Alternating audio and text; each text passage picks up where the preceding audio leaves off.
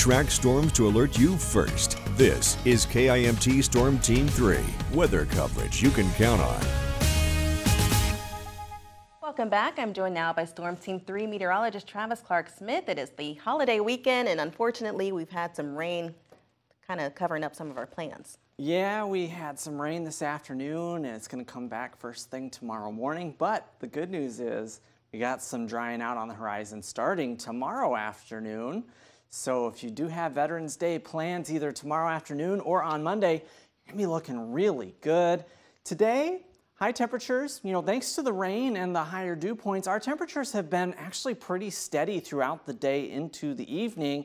49 degrees was our afternoon high here in Rochester with the average for today being 45 degrees. 50 was a pretty popular number. Preston, Austin, Albert Lea, Mason City, and Charles City all at 50 degrees for high temperatures today. 48 degrees in Forest City. Taking a live look at downtown Rochester, you can see some of that fog there, 46 degrees.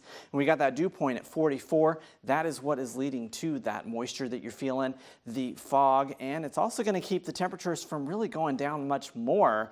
Winds out of the south-southeast right now at 13 miles per hour. A little bit more difficult to see in Mason City as that fog is really settling in there. 47 degrees.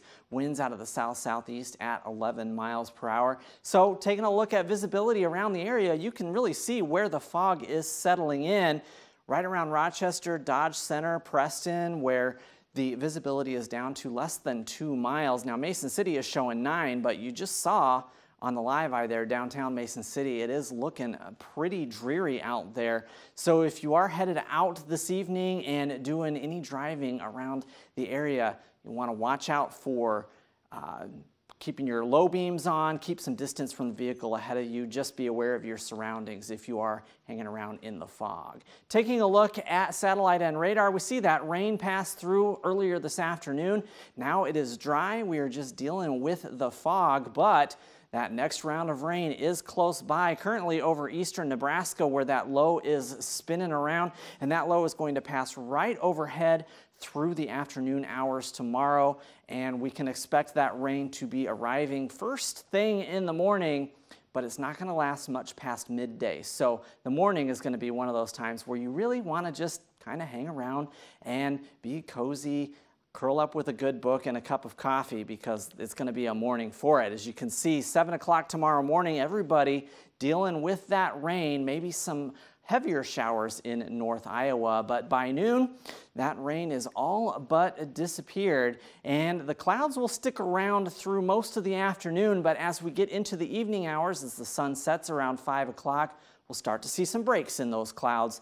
More breaks coming as we go through the overnight hours into Monday morning. A cold front will be passing through overnight tomorrow.